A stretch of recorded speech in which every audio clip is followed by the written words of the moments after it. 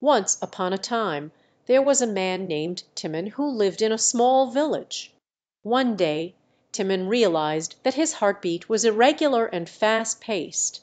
He grew increasingly worried and sought the help of a wise old healer in the village. The healer listened to Timon's heart and then told him to close his eyes and focus on his breathing. As Timon did as he was told, the healer placed his hand on Timon's heart and began to hum softly.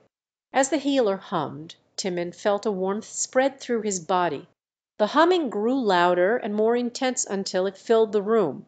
Suddenly Timon felt his heart rate slow down and settle into a steady rhythm. The healer opened his eyes and smiled at Timon, telling him that his heart had been unbalanced due to stress and anxiety, but that he had now found a sense of peace and balance. From that day on Timon made a conscious effort to take care of his physical and emotional health, including practising deep breathing, staying active, and nurturing his relationships with loved ones.